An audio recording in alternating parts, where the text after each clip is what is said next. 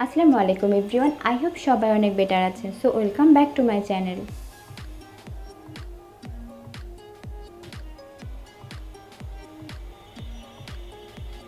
প্রতিবার যেভাবে আপনাদের জন্য সবসময় একটি হেল্পফুল রেসিপি নিয়ে আসি বা স্ন্যাক্স রেসিপি ঠিক তেমনি আজকে একটি ঘরে থাকা এসব ইনগ্রিডিয়েন্টস দিয়ে একটি রেসিপি তৈরি করেছি এবং শেয়ার করেছি।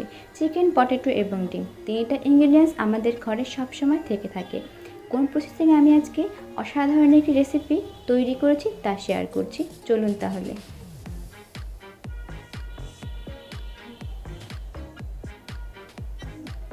মোস্ট ইম্পর্টেন্ট চিকেন আমি চিকেনে বুকের যে মাংসটা আছে সেটা নিয়েছি।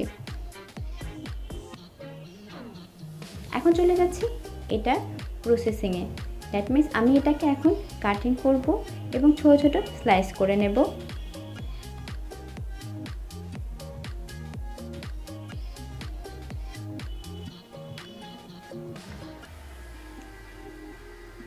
এই বুকের মাংসটুকু স্লাইস করার সময় আপনাকে হাড় যে অংশটা থাকে বা যদি থেকে থাকে সেই অংশটাকে একেবারে অ্যাভয়েড করতে হবে। হয়ে গেছে আমার ছোট ছোট স্লাইস করা। এখন একটি ব্রোথ বলে আমি এটাকে ট্রান্সফার করে নিচ্ছি। এরপর আমি এখানে একটি মিডিয়াম সাইজে পটেটো নিয়েছি। এটাকে আমি বয়েল করে নেব।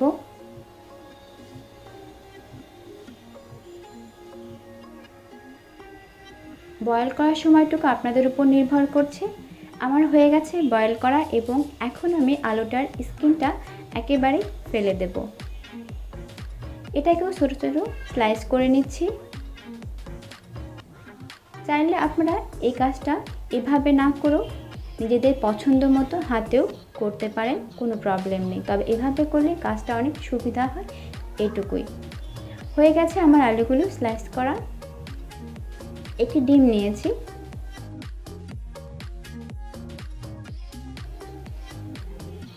আমি ডিম, আলু এবং চিকেনের যে পিসগুলো নিয়েছি, সবগুলো একসাথে এই ব্ল্যান্ডারে দিয়ে দিচ্ছি। এ সময় আমি এখানে two tablespoon green chilli নিয়েছি। ঝালটা সবসময় বলে থাকি ইয়োর চয়েস এবং ব্রেড ক্রাম নিয়েছি ওয়ান ফোর্থ কাপ পরিমাণ। আমি এখানে অরেঞ্জ কালার নিয়েছি, চাইলে আপনারা যে কোনো কালারের ব্রেড ক্রাম ইউজ করতে পারেন। হাফ কাপ পরিমাণ onion slice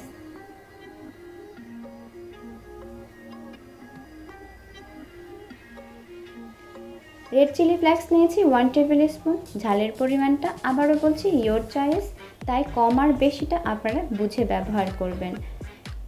ginger and garlic paste নিয়েছি আমি এখানে ওয়ান টেবিল স্পুন গরম মশলা পাউডার নিয়েছি, সেটা ওয়ান স্পুন সল্ট নিয়েছি টেস্টের উপর ডিপেন্ড করে। আপনার পরিমাণ বুঝে সল্টটা ইউজ করবেন। এখন অল ইনগ্রিডিয়েন্টস আমি ব্ল্যান্ডার করে নেব।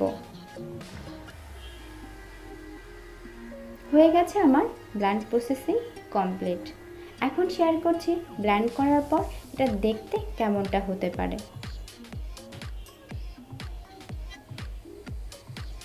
একটি বোল নিয়েছি এবং এই বোলে যেগুলো ব্ল্যান্ড করে রেখেছি সেটা আমি এখন ট্রান্সফার করে নিচ্ছি। এখানে থ্রি টেবিল স্পুন আমি ময়দা ব্যবহার করছি। এটা ব্যবহার করছি খুবই অল্প পরিমাণ কারণ এটা যেন আপনার রেসিপিটা তৈরি করার সময় ভেঙে না যায়। তাই এটা ব্যবহার করা। তাই আপনারা খুবই অল্প পরিমাণে এটা ব্যবহার করবেন, বেশি না। এখন আমি এখানে পর্যাপ্ত পরিমাণে রান্নার তেল ব্যবহার করছি। এই প্রসেসিংয়ের ক্ষেত্রে আপনার তেলটা একটু বেশি লাগবে, তাই এটার কোনো পরিমাণ নেই। আপনি যেটুকু সম্ভব ব্যবহার করবেন। আমি একটু হাই লেভেলের একটি মগ নিয়েছি এবং একটি কেক তৈরি করার বা ডিজাইন করার নোজেল নিয়েছি। কেক পেপার আর নোজেলটা আমি সেট করে নিচ্ছি।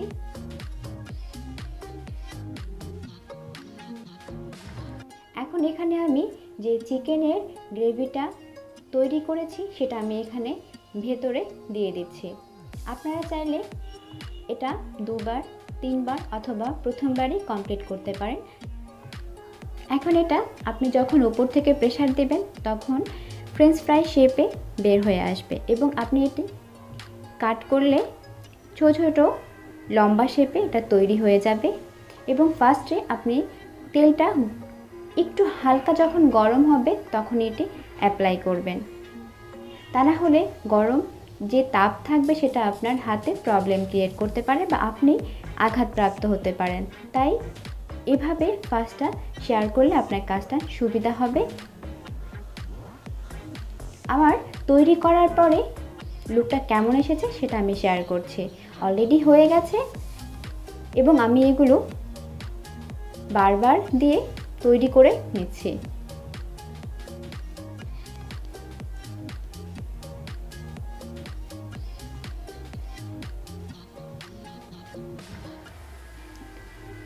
এটার ফ্রাই প্রসেসিংটা আপনারা চাইলে হালকা ডিপ বা মিডিয়াম অথবা মাঝারি যেটাই বলি না কেন তৈরি করে নিতে পারেন। আজ তাহলে আপনাদের সাথে যেটা শেয়ার করলাম ডেফিনেটলি আপনাদের অনেক বেশি ভালো লাগবে এবং হেল্প হবে।